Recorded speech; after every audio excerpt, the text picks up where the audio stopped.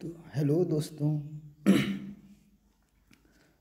आज हम सभी लोग हिंदी साहित्य, जो कि एक ऑप्शनल सब्जेक्ट है, विषय है, उसके पाठ्यक्रम और सिलेबस के बारे में हम चर्चा करेंगे और जानेंगे कि कौन कौन से कवि हैं जो आपको हिंदी साहित्य के ऑप्शनल चूज़ करने के बाद पढ़ने पड़ेंगे कौन कौन से पुस्तकें हैं, जो उन कवियों द्वारा लिखी गई हैं या जो उनके लेखक हैं।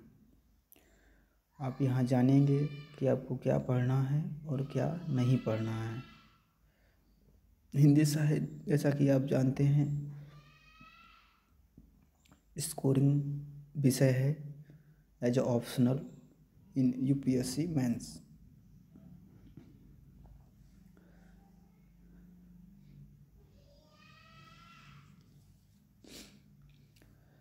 आगे बढ़ते हैं दोस्तों तो हम चर्चा करते हैं। पहले तो हम आपको बता दें कि जैसा कि ऑप्शनल में दो पेपर होंगे प्रश्न पत्र एक और दो।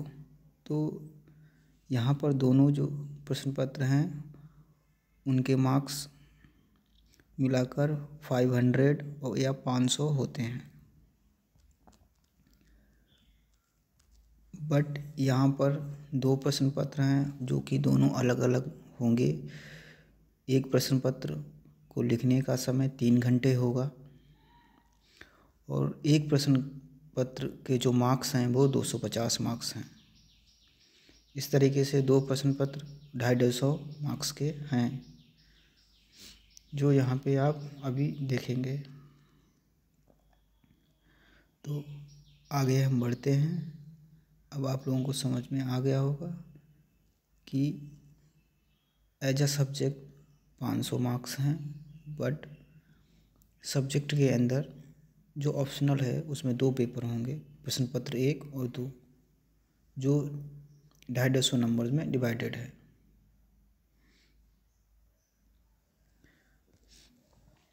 इसी कड़ी में हम देखते हैं आगे, प्रश्न पत्र एक। इसमें खंड का है, जिसमें हिंदी भाषा और नागरी लिपि का इतिहास दिया होगा, जो कि आपको पढ़ना होगा।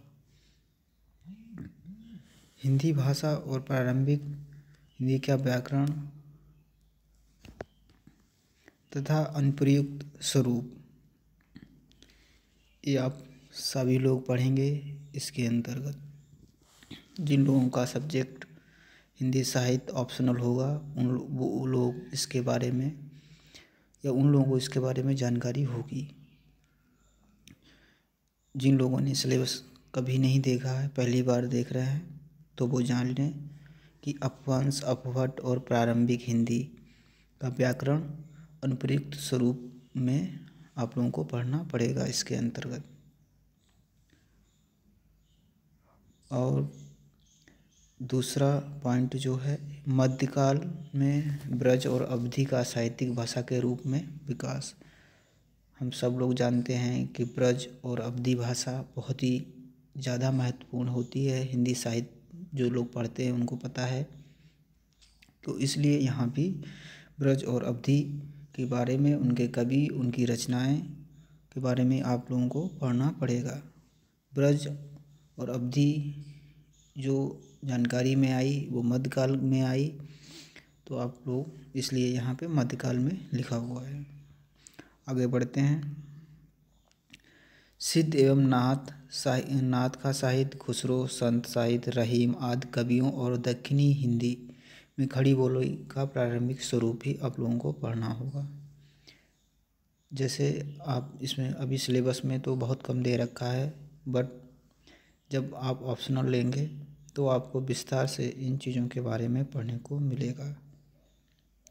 दक्षिणी हिंदी के भी बारे में आपको पढ़ने को मिलेगा। हिंदी जो अन्य बोलियाँ हैं, भाषा हैं, ब्रज, अवधि, इन सब के बारे में पढ़ने को मिलेगा। इसी में आपको खड़ी बोली के बारे में भी पढ़ने को मिलेगा। इनके कवियों के बारे में पढ़ने को मिलेगा। इनकी उनकी रचनाएँ क्या क्या हैं, वो सब भी पढ़नी पड़ेंगी।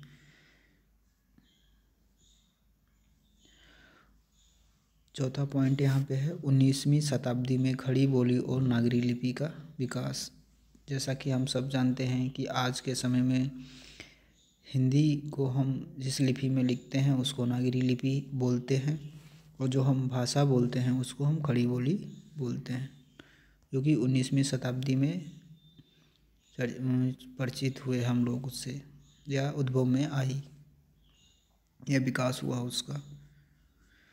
पाँचवा पॉइंट है, हिंदी भाषा और नागरी लिपि का मानकीकरण। पैरामीटर्स या मानकीकरण क्या क्या हैं उसके, हिंदी भाषा और नागरी लिपि के, उन सब के बारे में आप लोग पढ़ेंगे। छठा पॉइंट है, स्वतंत्रता आंदोलन के दौरान राष्ट्रीय भाषा के रूप में हिंदी का विकास। यहाँ आप लोग देखेंगे कि जो हमारे स्वतंत्रता सेनानी थे, उन्होंने किस तरीके से कविताओं के माध्यम से, जनसभाओं के माध्यम से हिंदी भाषा का प्रयोग किया, क्योंकि हिंदी भाषा जो है, आज भी और पहले भी एक बड़े जनमानस की भाषा रही है हमेशा से। इसलिए अपने विचारों को और विचारों को लोगों तक पहुँचाने के लिए, एक बड़े लोग, जनसंख्या तक पहुँचाने के लिए हिंदी भाषा एक ऐसा माध्यम था जिससे वो अपने विचारों को बहुत ज़्यादा से ज़्यादा लोगों तक तो पहुँचा सकते थे। इसीलिए यहाँ पे स्वतंत्रता आंदोलन के दौरान राष्ट्रभाषा के रूप में हिंदी का विकास आप सभी लोग देखेंगे। सातवां पॉइंट है, भारतीय संघ की राजभाषा के रूप में हिंदी का विकास आप लोग देखेंगे, जो कि हमारे संविधान में उसका प्रावधान दिया गया है। अब लोग जब पॉलिटी या राजनीति शास्त्र पढ़ते होंगे, तब उसमें हिंदी भाषा का चर्चा की गई है और उसे संवैधानिक दर्जा दिया गया है। सर, हम सब लोग जानते हैं कि बाईस भाषाएँ हमारे संविधान, संवैधानिक अधिकार दिया गया है, ऐसे ही हिंदी को भी दिया गया है। हिंदी भाषा का वैज्ञानिक और तकनीकी विकास देखेंगे आप सभी लोग इसमें। कंप्यूटर में टाइपिंग में भी आजकल हम सभी लोग हिंदी भाषा का यूज़ या प्रयोग कर सकते हैं। हिंदी की प्रमुख बोलियाँ और उनका परस्पर संबंध भी यहाँ पर आप सभी लोग देखेंगे। बोलियाँ तो बहुत हैं, हिंदी की ब्रज भाषा है खड़ी बोली है, बुंदेली है, हरियाणवी है, राजस्थानी है, भोजपुरी, ये सारी भाषाएँ। अब बोलियाँ इसमें हिंदी भाषा के अंतर्गत पढ़ेंगे हिंदी की प्रमुख बोलियाँ और उनका परस्पर संबंध भी पढ़ेंगे नागरी लिपि की प्रमुख विशेषताएँ और उसके सुधार के प्रयास तथा मानक हिंदी का स्वरूप भी आप लोगों को पढ़ना पड़ेगा। मानक हिंदी क्या होनी चाहिए या क्या होती है? ओके। देवनागरी लिपि या नागरी लिपि क्या है ये सब इसमें आप पढ़ेंगे विस्तार से। अब प्रश्न पत्र एक में ही दूसरा खंड है, खंड खा।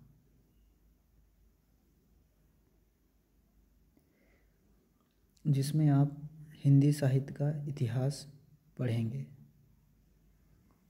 एक्चुअली में वो भाषा और ना, लिपि से संबंध था। इसमें अब जब लिपि और भाषा का विकास हो गया, उसके बाद उसमें रचनाएँ होने लगी तो उस रचनाओं में आप हिंदी साहित्य के इतिहास के बारे में पढ़ना हुआ है।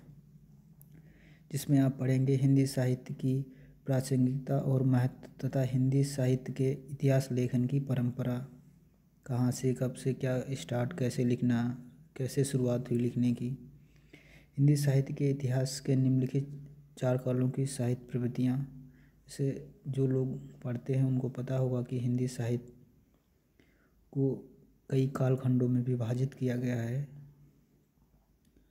तो उन कालखंडों के बारे में उनके कवि, उनकी रचनाएँ, उनका समय काल ये सब आप लोगों को पढ़ना पड़ेगा। इसी में आप देखेंगे खंड आदिकाल, सिद्धनाथ और रासो साहित्य प्रमुख कवि चंद्रप्रदायी खुसरो हेमचंद्र विद्यापति, इन सब कवियों के बारे में आपको पढ़ना पड़ेगा और आदिकाल के बारे में पढ़ना पड़ेगा, कैसे, क्यों नाम इसका आदिकाल पढ़ा। फिर आप भक्तिकाल के बारे में पढ़ेंगे, उनके कवि, उनकी रचनाएँ, उनकी धाराएँ, किस प्रवृत्ति के कवि थे किस क्षेत्र की रचनाएँ करते थे। सूफी काव्य धारा भी है इसमें। कृष्ण का विभाग का भक्ति धारा है, राम भक्ति निर्गुण सगुण कवि, इन सब के बारे में आप यहाँ पढ़ेंगे।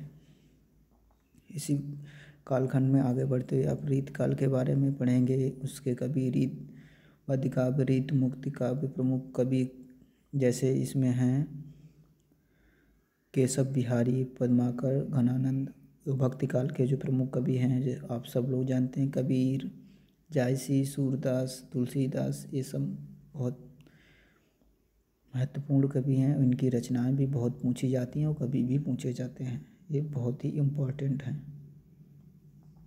फिर हम पढ़ेंगे इसमें आगे आधुनिक काल के बारे में, इसमें नव जागरण जैसा कि हम सब लोग इतिहास में भी पढ़ते हैं। गद्य का विकास पढ़ेंगे, भारतीय हिंदू मंडल के जो कवि उनके बारे इनकी रचनाएँ पढ़ेंगे, प्रमुख लेखक भारतीय बालकृष्ण भट्ट, प्रताप नारायण मिश्र जो कि आधुनिक काल के प्रमुख लेखक के रूप में जाने जाते हैं। इसी कड़ी में आगे बढ़ते हुए हम देखेंगे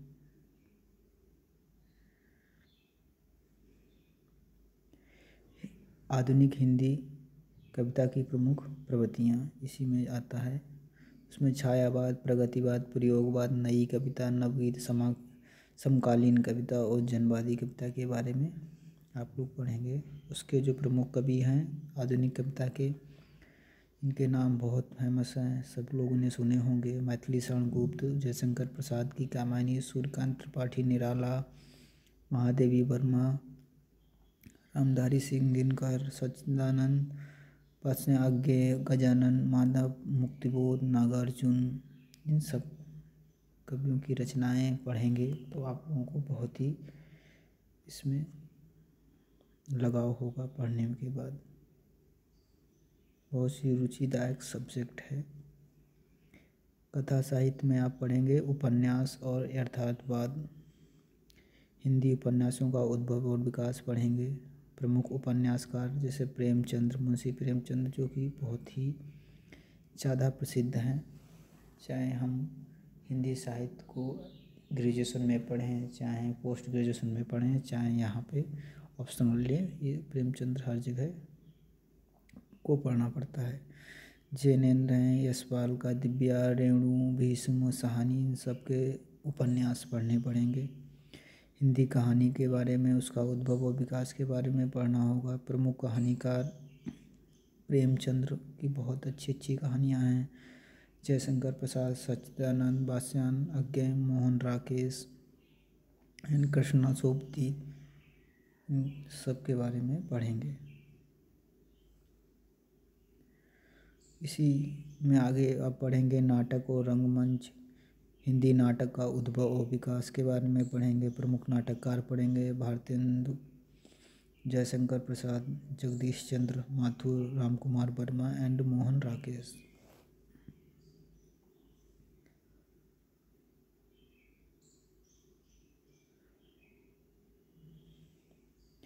हिंदी रंगमंच का विकास पढ़ेंगे।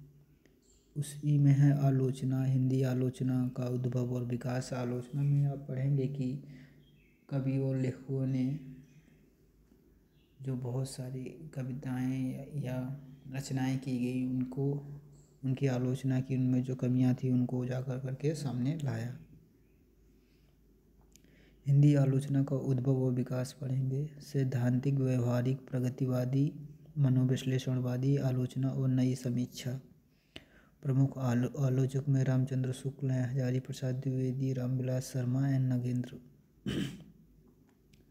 हिंदी साहित्य की अन्य विधाएँ जैसे ललित निबंध, रेखा चित्र संश्रमण यात्रा वृतांत ये सभी आप इसमें पढ़ेंगे।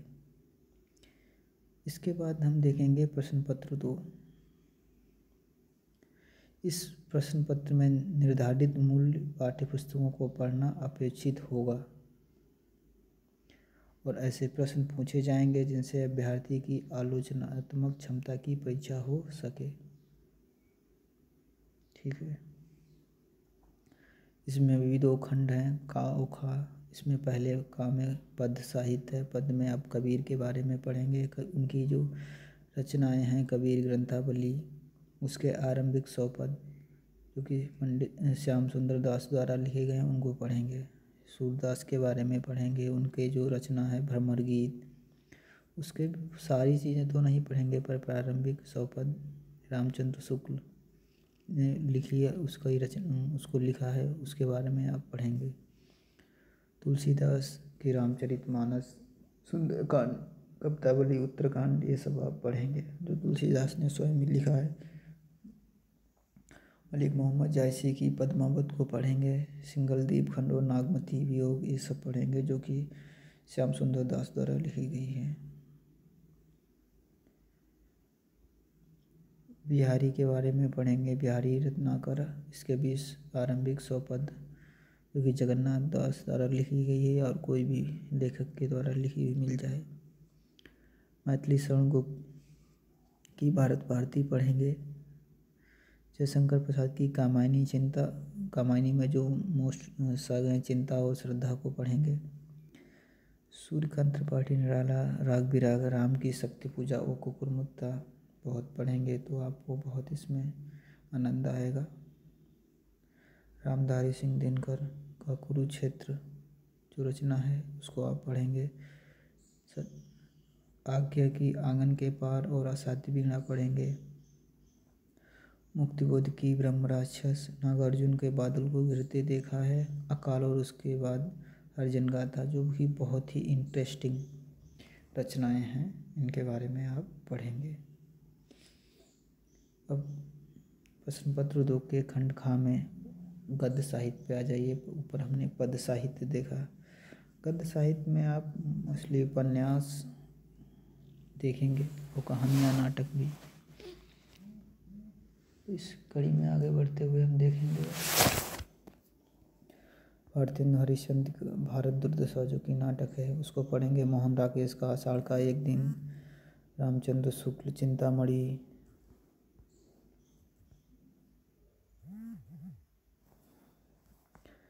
रामचंद्र शुक्ल, चिंतामणि भाग एक कविता क्या है? श्रद्धा, निबंध, नेपाल कृष्ण भट्ट, प्रेमचंद्र गुलाब राय।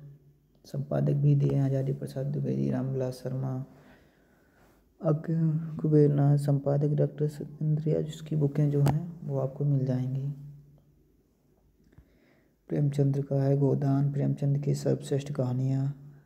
संपादक अमृत राय, प्रसाद जयशंकर प्रसाद स्कंदगुप्त है, यशपाल का दिव्या है फणी सनान रेणुका मेला, चलय मन्नू भंडारी, महाभोज राजेंद्र यादव एक दुनिया समानांतर सभी कहानियाँ।